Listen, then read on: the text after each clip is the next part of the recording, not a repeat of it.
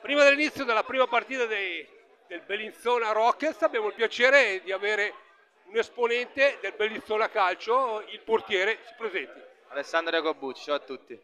Senti, inizio di campionato in cui la tua squadra sembra che giochi abbastanza bene, ma i risultati fanno un po' fatica ad arrivare. I risultati arriveranno, stiamo lavorando bene, siamo alla strada giusta e penso che molto presto arriveranno i risultati anche la prima vittoria.